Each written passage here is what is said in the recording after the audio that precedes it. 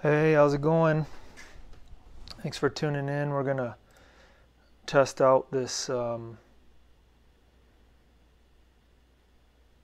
uh, this new software. Seems to be working for doing these broadcasts.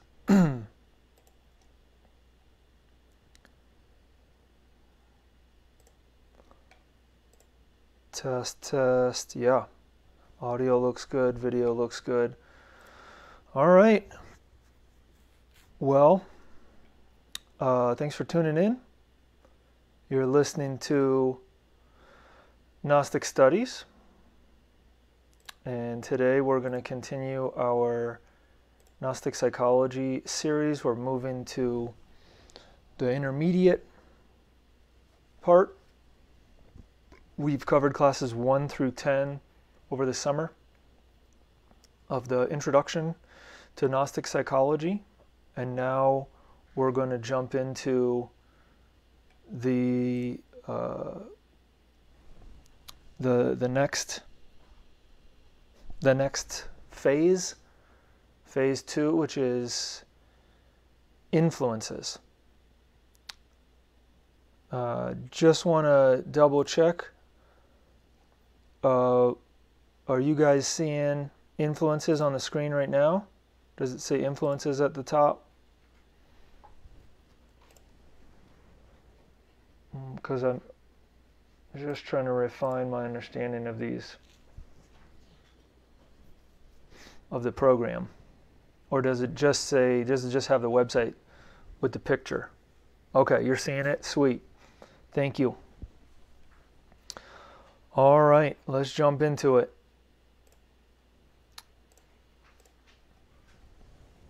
So uh, if you want to review the other material, we'll post a link when we're done with that, but um, the previous material that we're building off of. But now we want to move into this next phase, as we mentioned already, influences. This, this class and the next class are both related to the different influences, esoteric influences that we encounter in our life and how to take advantage of those influences or how to understand them. So we'll just jump into it and feel free to, to throw up any questions you may have uh, while we're reading. Part one influences crystallization of the human being's possible development. Or I should say, influences crystallization and the human being's possible development. From the esoteric point of view, all people are machines governed by external influences. If you think that there is something that chooses its own path, something that can stand against mechanization, then you think that not everything is equally mechanical. Art, poetry, thought are just as mechanical as everything else. Human beings are machines, and nothing but mechanical actions can be expected of machines. Although there are people who are not machines. So we talked about human machine before, and we'll talk more about it in this series, and especially in the second class um, of influences. But the idea that we're human machines is important to understand because a machine, like a computer, takes in input and it gives out output, right? So there's there's in and out. The food that we eat, right? It, it has an effect on us. The impressions we receive from movies and television, from the internet, uh, from interacting with others, from nature, those impressions have an effect on us, and then they they result in us processing it. The human machine processes it, and then we produce something. Something comes out of that, um, positive or negative or neutral depends.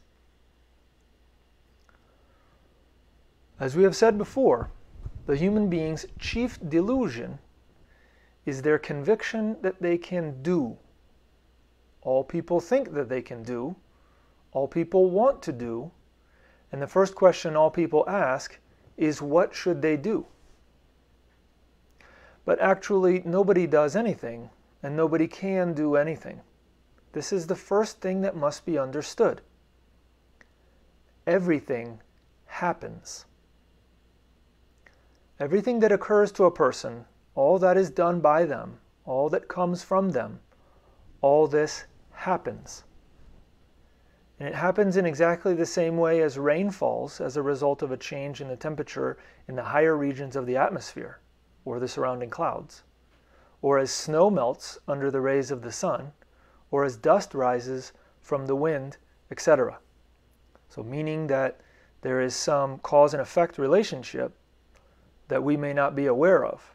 We just see the rain falling, but actually something occurred in order for that, that rain to, uh, for those wa- that water to accumulate in such a way and, and to fall.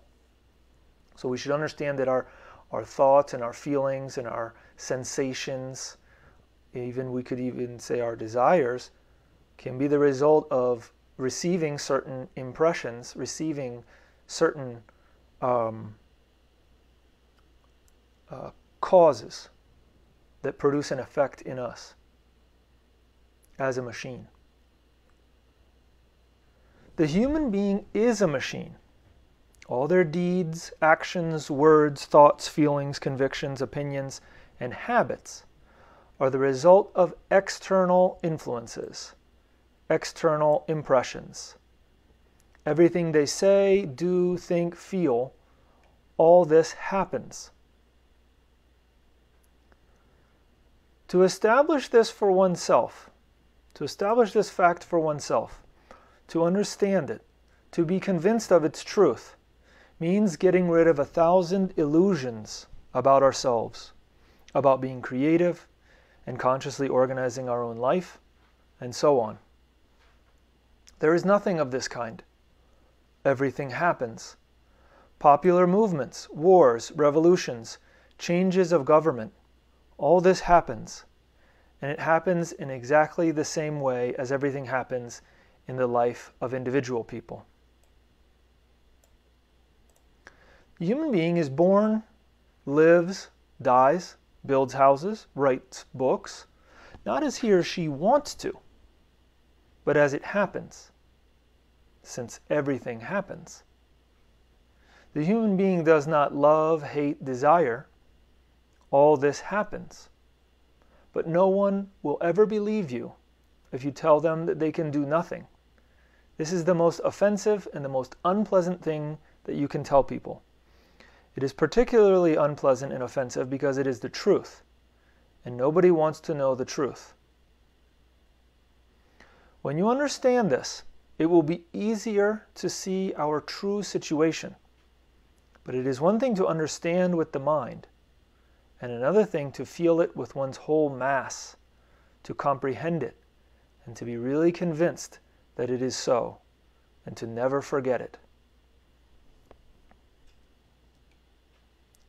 So this is not meant to be pessimistic, it's meant for us to understand that we often react to things and we don't understand the chain of events, the cause and effect relationship that exists. And the purpose of our studies is to get us out of this situation so that we're not just reacting all the time and so that we can become a human being that has authentic individuality and isn't just uh, justifying our like or dislike for the impressions that we receive.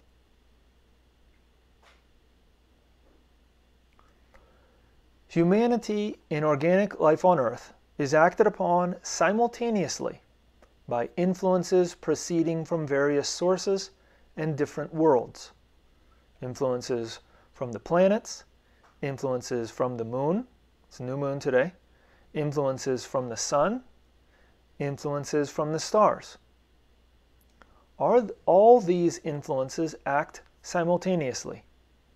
One influence predominates at one moment and another influence at another moment. And for the human being, there is a certain possibility of making a choice of influences. In other words, of passing from one influence to another. This is the key. There is the possibility of choosing one influence over another. To explain how, we would need first to understand one thing. It is impossible to become free from one influence without becoming subject to another. The whole thing, all the work upon ourselves consists in choosing the influence to which you wish to subject yourself, and then of actually falling under this influence. And for this, it is necessary to know beforehand which influence is the more profitable.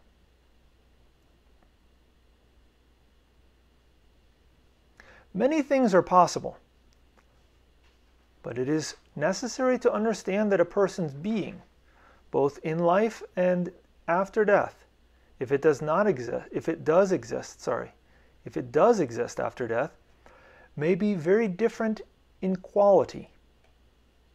A person's being may be very different in quality. The human machine, with whom everything depends upon external influences, with whom everything happens, who is now one, the next moment another, the next moment a third, has no future of any kind. They are buried, and that is all.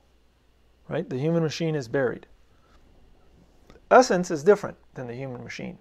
The human machine refers to our uh, organism, our human organism. In order to be able to speak of any kind of future life, there must be a certain crystallization, a certain fusion of one's inner qualities, a certain independence of external influences. In certain cases of fuller crystallization, what people call reincarnation may be possible after death. And in other cases, what people call existence on the other side may be possible. In both cases, it is the continuation of life with the astral body and with the other superior existential bodies of the being. What does the expression astral body mean or refer to? Many of the esoteric systems that use this expression state that all people have an astral body. This is somewhat confusing, or we could even say incorrect, so we should clarify. According to the Gnostic system that we're studying, all people have a lunar astral body, which is also called the body of desires. But not all people have a solar astral body, and as such, not all people are liberated from the body of desires. Remember, Buddhism says that desire causes suffering. And so the body of desires can be very problematic for us. So if we want to get off the wheel of samsara and end our suffering, then obviously we need to address the role that desires play in that. What is called the solar astral body is obtained by means of fusion, that is, by means of terribly hard inner work and struggle. The human being is not born with it, and only very few people acquire a solar astral body. If it is formed, it may continue to live after the death of the physical body, and it may be born again in another physical body, because it, it corresponds to the essence. If this person who has a solar astral body is not reborn, then in the course of time that astral body will also eventually die. It is not immortal, but it can live long after the death of the physical body. Fusion, inner unity, is obtained by means of friction, by the internal struggle. All this is from uh, Gurdjieff and Ouspensky in the book uh, In Search of the Miraculous, and let's see, yeah, all these quotes are from In Search of the Miraculous.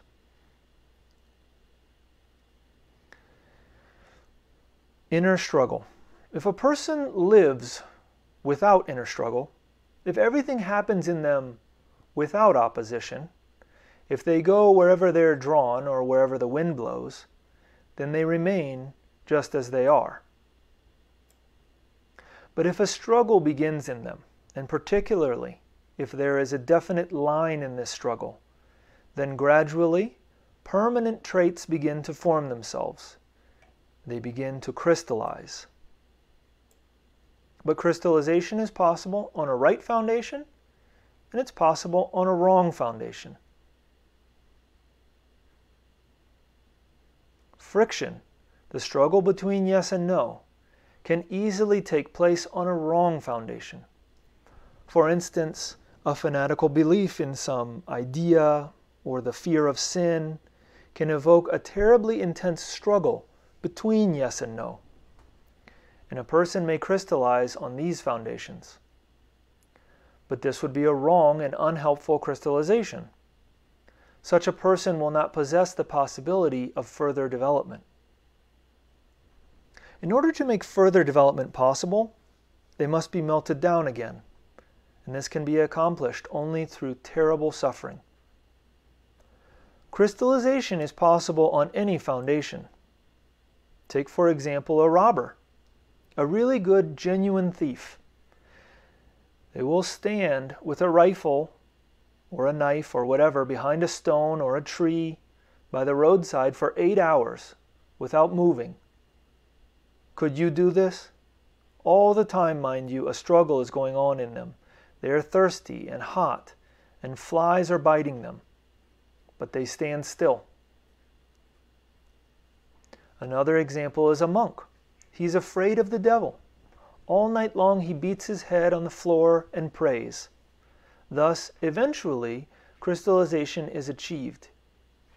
In such ways, people can generate in themselves an enormous inner strength. They can endure torture they can get what they want. This means that there is now in them something solid, something permanent. Such people can become immortal if they learn to properly direct themselves in order to win the inner struggle. Sacrifice is necessary. If nothing is sacrificed, nothing is obtained. Right? We still need to do an exchange, which is an idea we've mentioned in multiple classes. This idea that the universe is an exchange of energy. So we have to trade, trade up, right? Trade from, from one situation, from one level of being into another level of being. We have to give up the things that correspond to that lower level of being if we want to move to a higher level of being. And it's necessary to sacrifice something precious at the moment, something we care about at the moment, even if later we don't care about it. So we need to sacrifice something precious at the moment, and to sacrifice for a long time, and to sacrifice a great deal.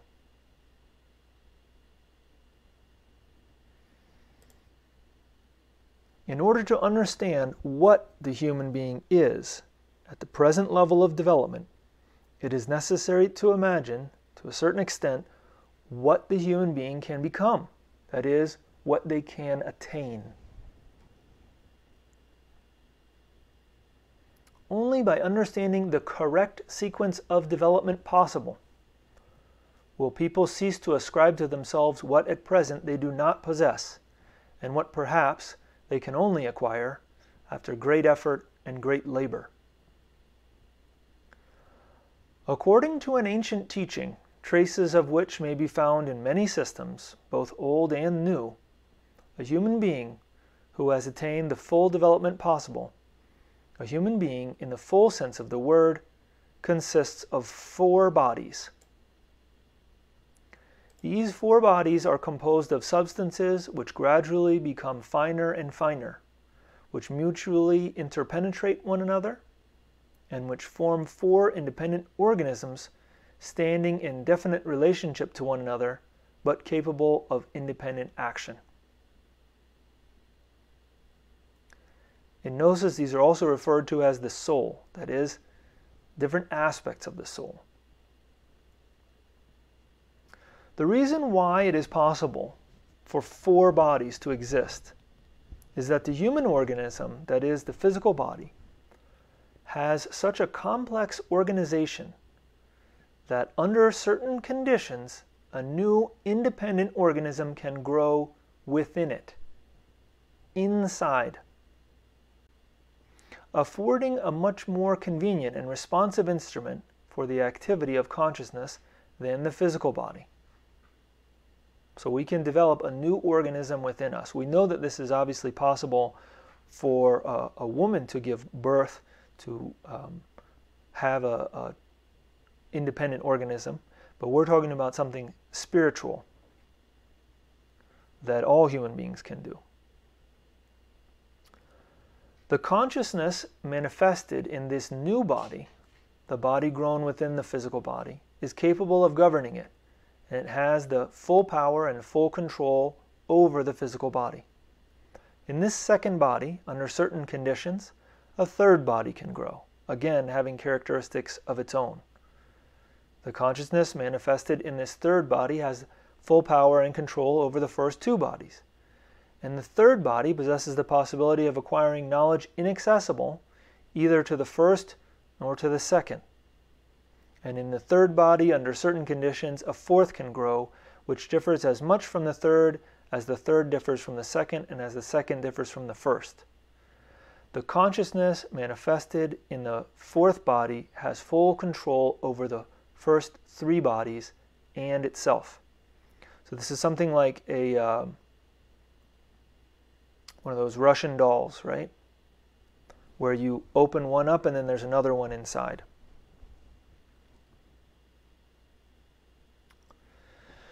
These four bodies are defined in different teachings in various ways.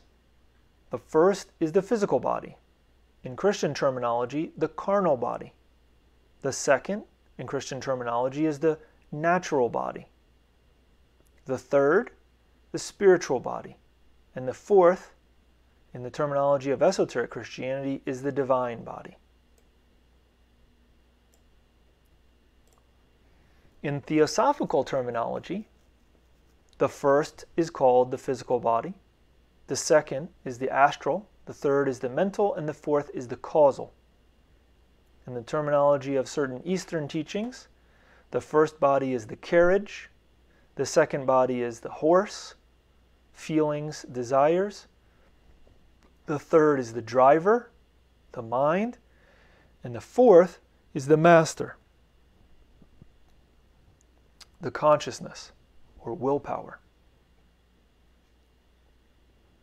Such comparisons and parallels may be found in most systems and teachings which recognize something more in the human being than the physical body. So remember, what they're talking about and what they've mentioned here is that in order to understand what we can become, we have to understand what the proper development of the human being actually is.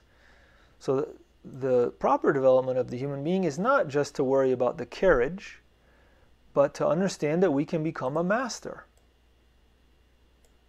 And that requires the horse, the driver, the carriage, and the master, all of them. That is the physical, the astral, the mental, and the causal bodies. So we'll talk about this more, and of course, this is what we discussed in Gnostic chemistry and cosmology class. In this class, and the uh, the influences too, have a lot of overlap with the chemistry and cosmology. And if you guys want to, after we're done with studying intermediate psychology, we could go that direction as well. We could jump into the chemistry and cosmology. So let's look at uh, this subject a little more and see if it interests us. But almost all these teachings, while repeating more or less familiar in a more or less familiar form the definitions and divisions of the ancient teaching, have forgotten or omitted its most important feature, which is that the human being is not born with these finer bodies and that they can only be artificially cultivated in us provided favorable conditions, both internal and external, are present. And those favorable conditions we'll see are going to be related also with the influences that we choose for ourselves, which is why we're discussing it in this class.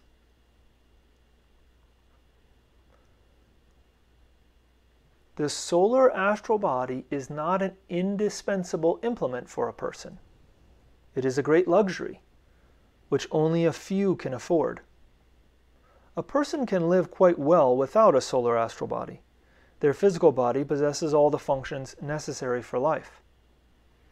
A person without a solar astral body may even produce the impression of being a very intellectual or even spiritual person. And they may deceive not only others but also themselves. This applies still more, of course, to the mental body and to the fourth, the causal body. Ordinary human beings do not possess these bodies or their corresponding functions, but they often think and make others think that they do. The reasons for this are first the fact that the physical body works with the same substances of which the higher bodies are composed. Only these substances are not crystallized in the physical body. They do not belong to it. And secondly, the physical body has all the functions analogous to those of the higher bodies, although, of course, they differ from them considerably. All right, we have emotions, we have mind, but they're not necessarily developed. The chief difference between the functions of a person possessing the physical body only and the functions of the four bodies is that in the first case, the functions of the physical body govern all the other functions. In other words, everything is governed by the physical body, which in its turn is governed by external influences. In the second case, the command or control emanates from the higher body. The functions of the physical body may be represented as parallel to the functions of the four bodies. In the first case, that is, in relation with the functions of a person with a physical body alone, or only a physical body, the automaton depends upon external influences. And the next three functions depend upon what the physical body and the external functions, and the, I'm sorry, and the external influences it receives. Desires or aversions, I want, I don't want, I like, I don't like, that is, fun functions occupying the place of the second body, depend upon accidental shocks and influences. Thinking, which corresponds to the functions of the third body, is an entirely mechanical process. Will is absent. In ordinary mechanical human beings, they have only desires, and a greater or lesser permanence of desires and wishes is called a strong or weak will. So you can see here in this diagram, the first body directs the rest. So this is if we don't have the solar bodies developed. The physical body becomes the sort of driving factor there. And since it works off of external influences, then really external influences are the, the thing that push us. Pushes the physical body, the physical body creates desires.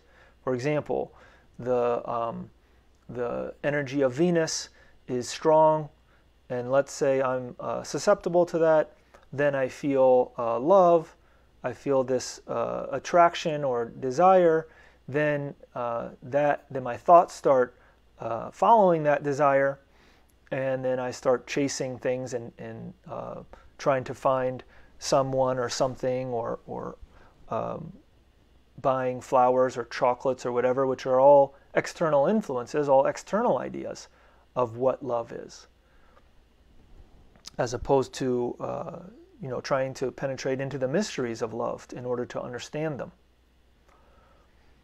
So what we want to understand is the second case, that was the first case where the external influences uh, influence the, the physical body, and therefore the physical body stimulates these other aspects emotions, desires, the mind, and the willpower.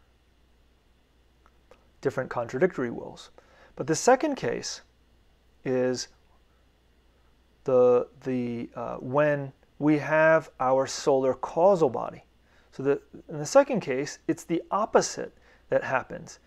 Things, the, the um, source of control doesn't start with the physical body, it starts with the causal body. So let's look at what Gurdjieff says about that.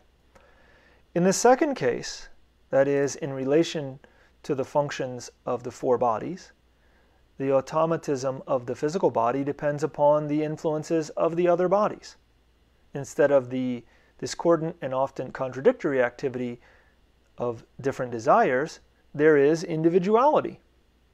Dominating the physical body and its desires, which is able to overcome both its reluctance and its resistance. Instead of the mechanical process of thinking, there is consciousness. And there is will, that is, a, a power, not merely composed of various, often contradictory desires belonging to different eyes or egos, but issuing from consciousness and governed by individuality. Only such a will can be called free. He's talking about free will, since it is independent of accident and cannot be altered or directed from outside or external influences.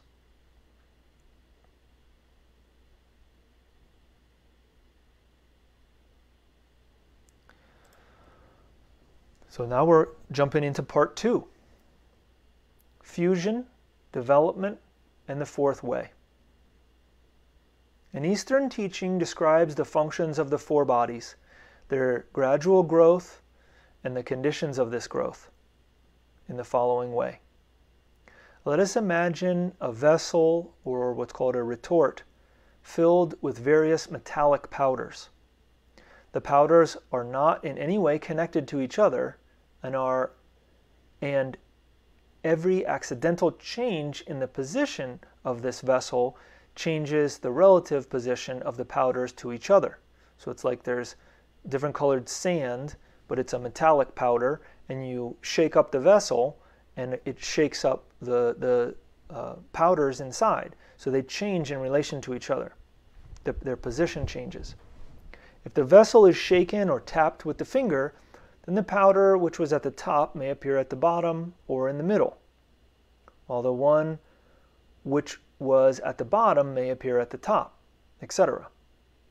There is nothing permanent in the position of the powders, and under such condition there can be nothing permanent. This is an exact picture of our psychic life. Each succeeding moment, new influences may change the position of the powder, which is at the top, and put another in its place, which is absolutely its opposite. Science calls this state of the powders the state of mechanical mixture. The essential characteristic of the interrelation of the powders to one another in this kind of mixture is the instability of these interrelations and their variability. Right? So obviously if this is a picture of our psyche, it's saying that there's uh, an instability in our psychology which is why this is not what we're covering in the first introductory series, because we discussed many of the foundational ideas that allow us to understand this deeper in the first uh, 10 classes, Introduction to Gnostic Psychology. It is impossible to stabilize the interrelation of powders in a state of mechanical mixture. But the powders may be fused the nature of the powders make this possible. To do this, a special kind of fire must be lit under the vessel, which, by heating and melting the powders, finally fuses them together. Fused in this way, the powders will be in the state of a chemical compound, and now they can no longer be separated by those simple methods which separated and made them change places when they were in a state of mechanical mixture. The contents of the vessel will have become indivisible or an individual. This is a picture of the formation of the second body, the solar astral body. The fire by means of which fusion is attained is produced by friction, which in its turn is produced in a person through an internal struggle. If a person gives way to all their desires or panders to them, then there will be no inner struggle in them, no friction, and no fire.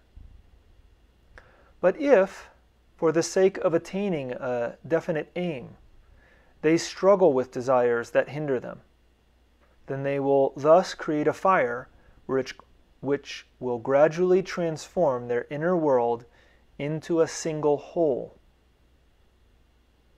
let us return to our example. The chemical compound obtained by fusion possesses certain qualities. So if we were able to fight against ourselves, so to speak, and create that inner friction, understanding that there's aspects of ourselves that we do need to say no to, and there's other aspects that we need to say yes to. If we were to, to uh, do that inner fight and create that friction, which then creates a fire, then we could fuse those uh, elements together. This is the symbolism that Gurdjieff is using. The chemical compound obtained by fusion possesses certain qualities, a certain specific gravity, a certain electrical conductivity, and so on. These qualities constitute the characteristics of the substance in question. Right? So you could say a certain uh, density or gravity, a certain electrical conductivity is, um, is the, the characteristics of the solar astral body. But by means of a certain kind of work upon it, the number of these characteristics could also be increased. That is, the solidified mixture or alloy may be given new properties which did not belong to it before. It may be possible to magnetize it or to do something else with it. The process of imparting new properties to the alloy corresponds to the process of the formation of the third body, the solar mental body, and of the acquisition of new knowledge and powers with the help of this third body. By means of a special kind of work for all three bodies, the acquired properties may be made permanent and in, may be made the permanent and inalienable possession of the solar mental body. The process of fixing these acquired properties corresponds to the process of the formation of the fourth body, the solar causal body. And the only person who possesses the four fully developed bodies can be really called a man or authentic human being in the full sense of the word. So, what's being said is that we're not really done being developed. That as a, a humanoid right now, with it, with, when we don't possess these bodies, the solar astral, solar mental, solar causal body, we're not yet fully developed. We're not yet an authentic human being. We may call ourselves human beings or mankind or whatever you want to say, but in terms of objective reality, we don't yet possess that. because this type of person, an authentic human being, possesses many properties which ordinary people do not possess. And one of these is immortality. So, when we possess our solar causal body, we can say that we possess our soul. And prior to that point, we don't. Uh, we refer you to the book, The Perfect Matrimony by Samael Weor. In the end of the book, the final chapter, you can just read the last few paragraphs where he emphasizes this. He talks about it and says that people really don't understand that that's uh, what we need to do as part of life.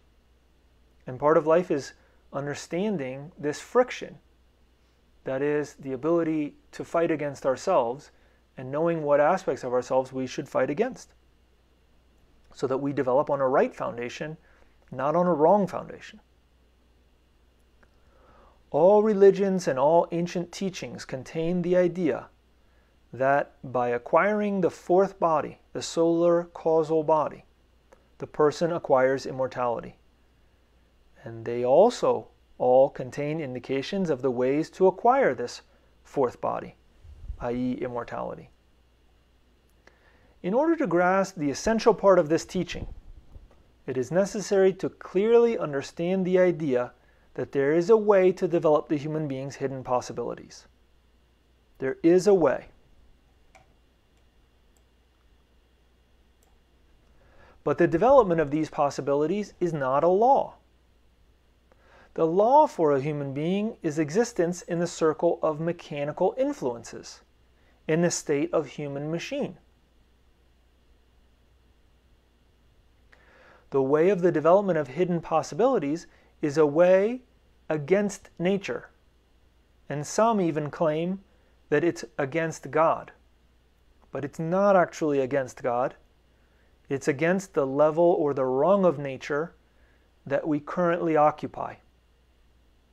It's a revolution, it's revolting against that and saying we want to move to the next higher rung.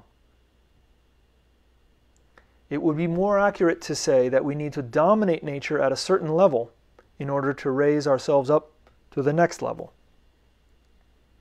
This explains the difficulties and the exclusiveness of the way. The way is narrow and straight, but at the same time, only through it can anything be attained. In the general mass of everyday life, especially modern life, the way is a small, quite imperceptible phenomenon, which, from the point of view of mechanical life, need not exist at all. But this small phenomenon contains in itself all that a person has for the development of their hidden possibilities. The way is opposed to everyday life. It is based upon other principles. It is subject to other laws. It consists, in it consists the power and the significance of this esoteric development. In everyday life, even in a life filled with scientific, philosophical, religious, or social interests, there is nothing, and there can be nothing, which could give the possibilities which are contained in the way. The way leads the human being to immortality. Everyday life, even at its best, leads the human being to death and can lead to nothing else. So, that we can use everyday life to our advantage in order to create this fusion, in order to create this friction. But we have to understand that just like in the past, people remembered divinity in their everyday life, and in some countries, they even uh, do practices that help remind, like the culture does it, help remind us of divinity. In a lot of the Western culture, there isn't that and it's almost considered uh, inappropriate and uh, like we're forcing it on somebody if we choose to pray before we eat or uh, not do activities that for other people are, are normal not treat people in a certain way not talk to people in a certain way so we have to understand that we can take advantage of the circumstances of life we don't need to run away from uh, life we need to understand how to use it to our advantage. Because otherwise, if we don't use it to our advantage, it's going to use us. It's going to chew us up and spit us out. It's like somebody said uh, that if, if we if we just quit our job or we don't you know go to work or whatever, then they're just going to get somebody else for us to replace our position. And so sometimes we make these great sacrifices for work, and then we realize that work doesn't really care. Now, obviously, work is one thing, and the people at work are another thing. So, uh, let's understand that that we need to be intelligent in our relationship with our source of income, in our relationship with our coworkers, and and uh, customers or or clients, other people we come in contact with so that we can use all of those experiences to not just be a mechanical machine. Because otherwise, as it says, we're just going to die. Everyday life, even at its best, leads the human being to death and can lead to nothing else. Whether we're a millionaire or a billionaire and we're, we've got all the money, if we don't create our solar bodies, when our physical body dies, that's it. So we need to take advantage of life in order to create these solar bodies. To create that friction and fight against those aspects of ourselves that are leading to more suffering, more problems, etc.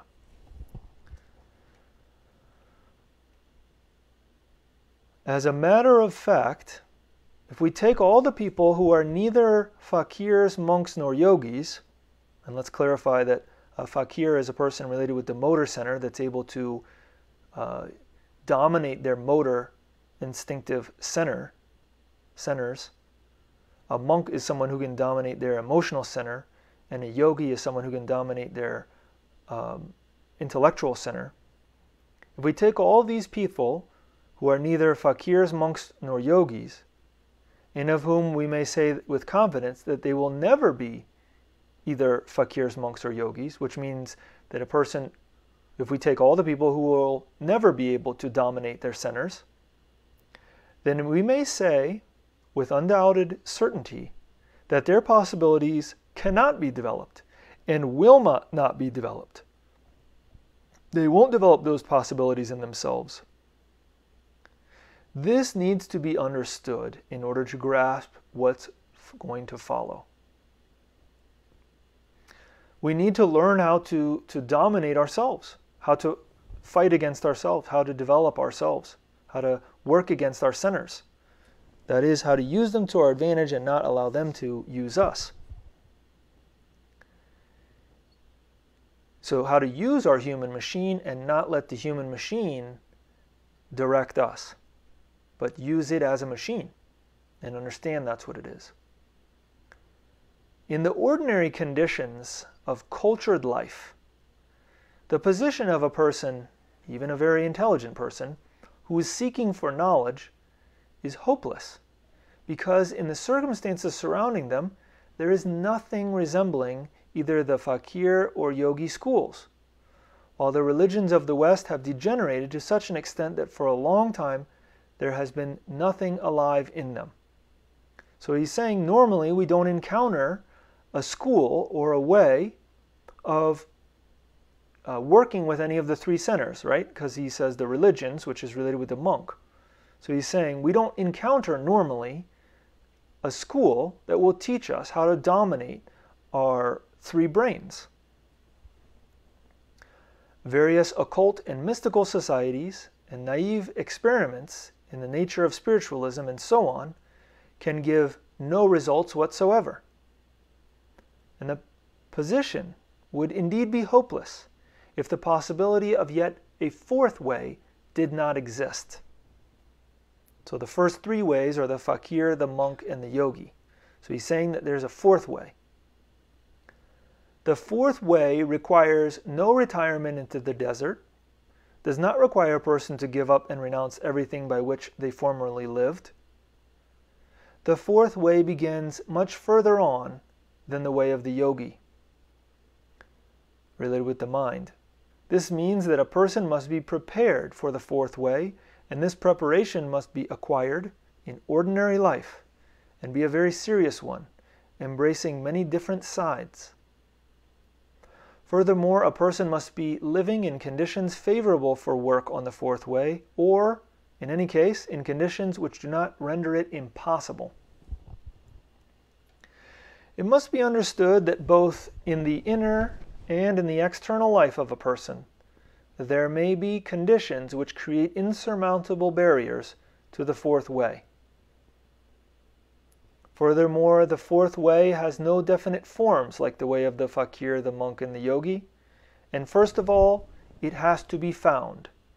This is the first test. If you're listening to this, then you've probably found it or been looking for it. It is not well known as the three traditional ways. There are many people who have never heard of the fourth way, and there are others who deny its existence or even its possibility of existing. At the same time, the beginning of the fourth way is easier than the beginning of the ways of the fakir, the monk, and the yogi. On the fourth way, it is possible to work and to follow this way while remaining in the usual conditions of life continuing to do the usual work, preserving former relations with people, and without renouncing or giving up things in the traditional sense. On the contrary, the conditions of life in which a person is placed at the beginning of their work, in which, so to speak, the work finds them, are the best possible conditions for that person. at any rate at the beginning of the work. These conditions are natural for that person. These conditions are the person themselves. Because a person's life and its conditions correspond to what that person is.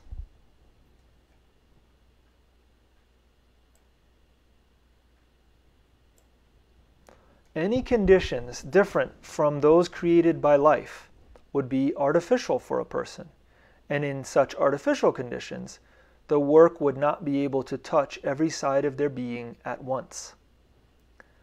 So, part of what we're studying in Gnostic psychology is how to change ourselves and how to distinguish what we need to develop and what we need to uh, dissolve within ourselves.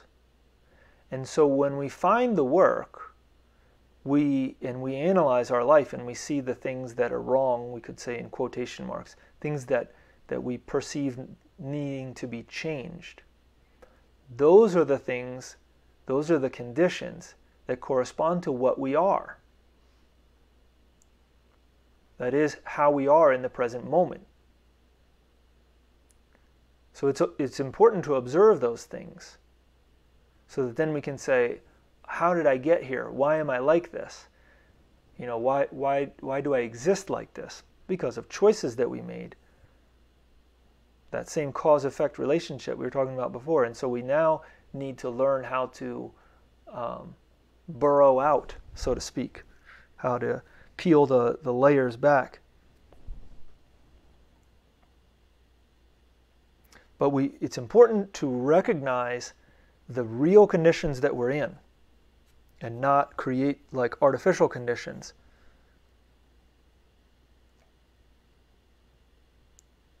It says any con- conditions different from those created by life would be artificial for a person. And in such artificial conditions, the work would not be able to touch every side of their being at once. Thanks to this, the fourth way affects simultaneously on every side of one's being. It is work on the three rooms at once. The fakir works in the first room, the action brain, right? Movement. The monk on the second, the emotional brain. And the yogi on the third, the intellectual brain. In reaching this fourth room that the fourth way corresponds to, which is the equilibrium of the three brains.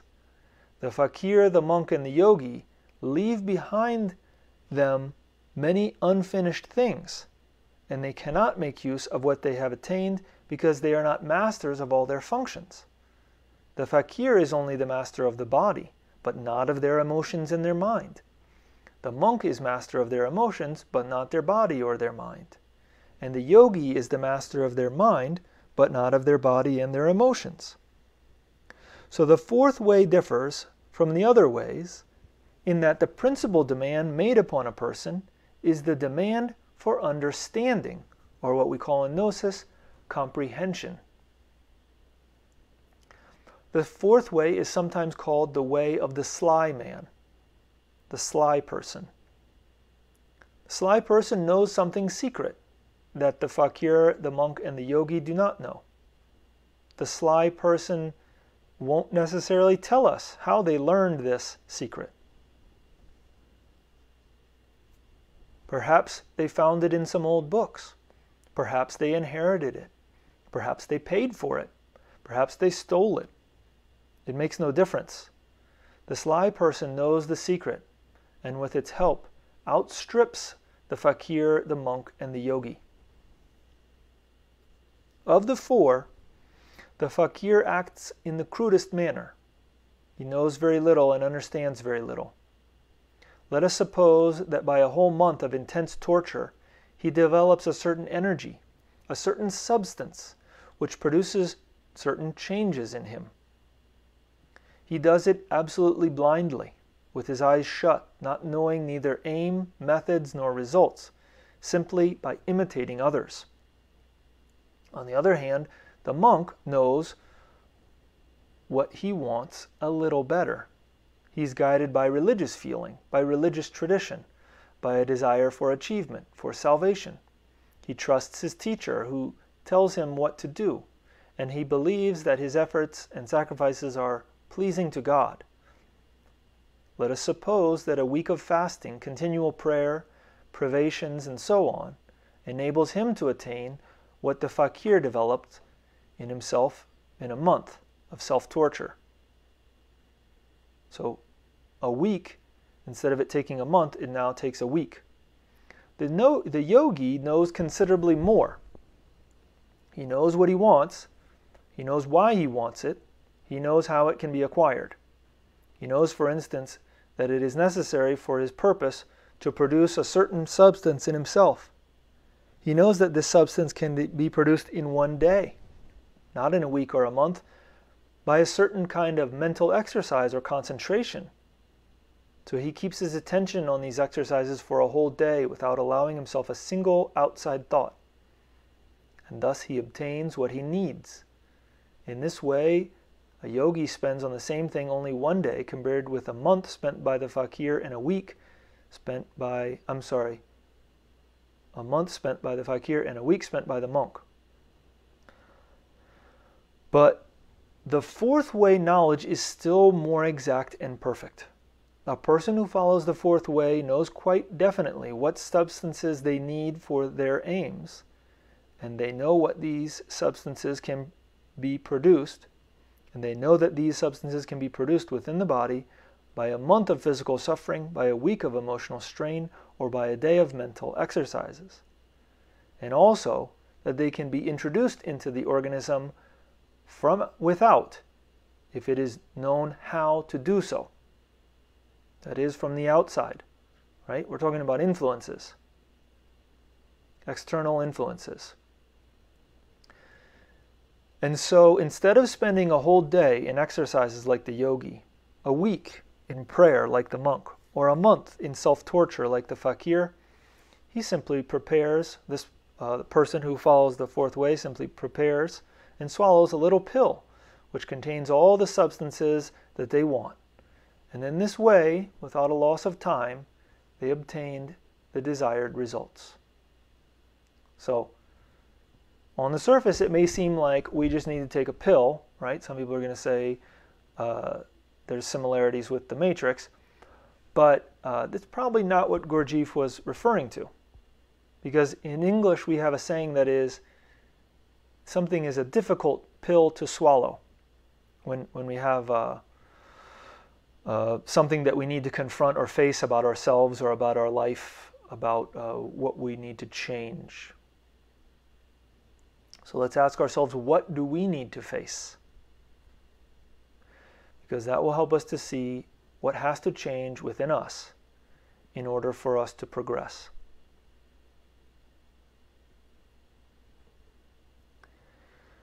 A summary of uh, what we talked about today.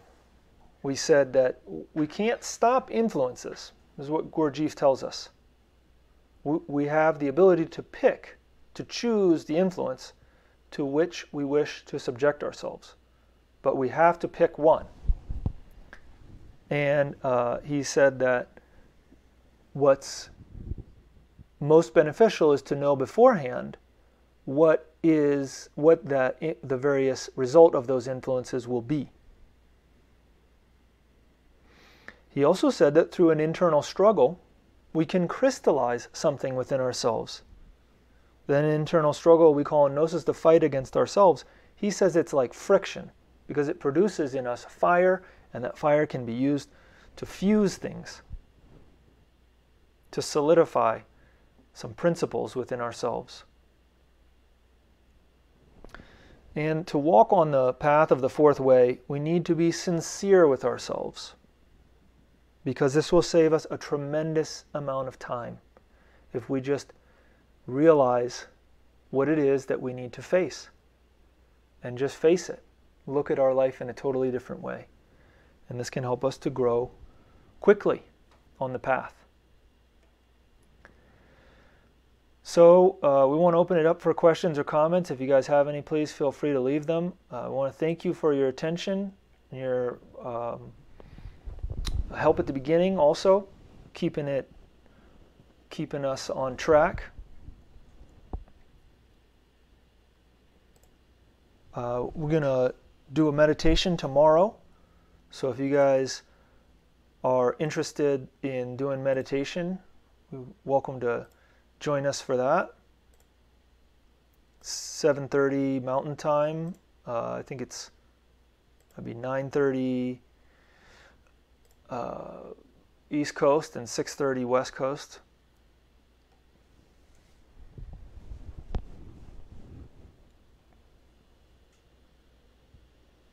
And then we're going to try and keep these going. Uh, we won't during Thanksgiving, the fourth week of November, and then, of course, during uh, the, the traditional Christian holidays and New Year in December. But other than that, um, we're going to try and keep it going.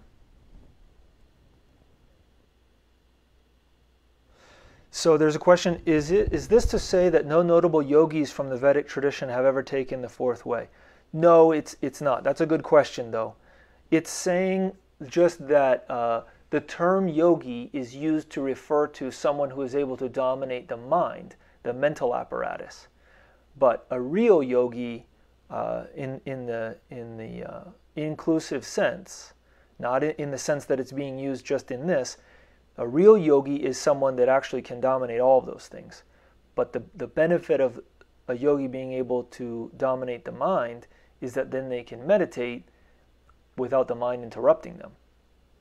So there certainly are yogis, and Swami Sivananda is considered one of them, who was able to uh, do this work and get the, um, the so, uh, acquire the solar bodies, become a master. Right, yeah, considering that yogis are usually only the master of the, the uh, intellect, but there are those that, that are more than that. Sometimes that's the most difficult one to dominate. It depends on uh, us as an individual, but in general, the, the mind can be very difficult to dominate.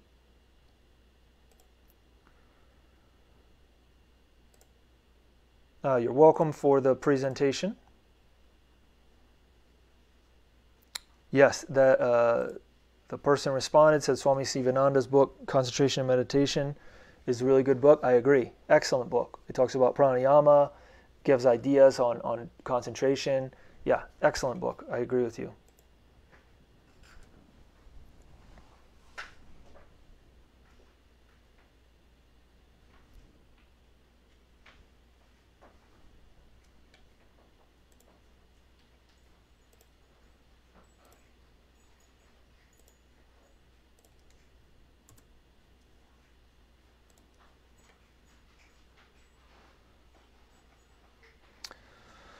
Well, all right. Doesn't look like there's any more questions or comments at this time.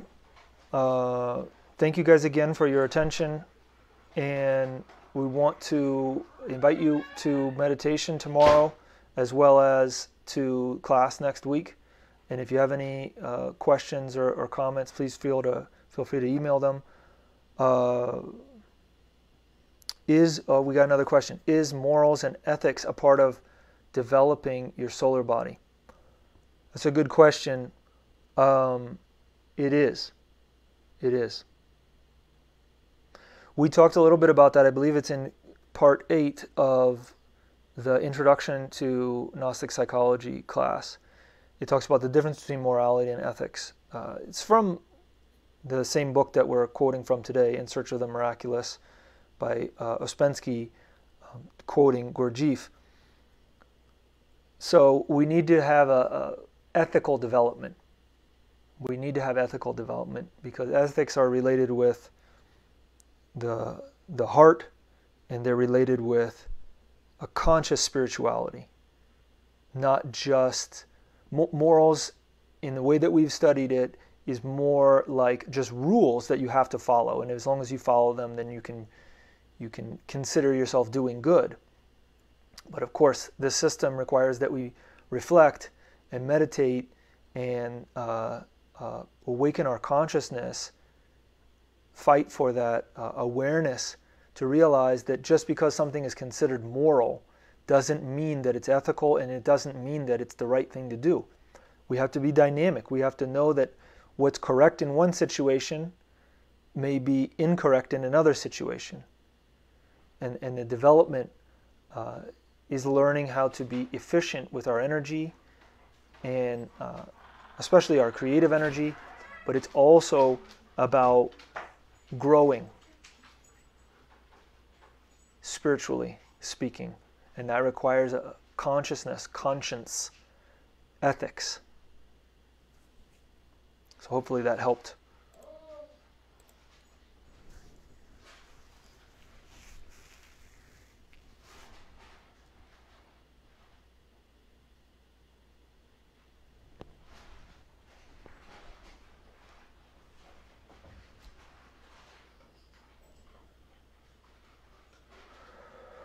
Well, all right.